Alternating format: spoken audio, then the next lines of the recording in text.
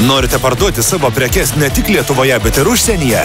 Prisijunkite prekiauti prie pigu.lt elektroninės prekybos platformos ir pasiekite visų trijų Baltijos šalių pirkėjus. Daugiau informacijos pigu.lt.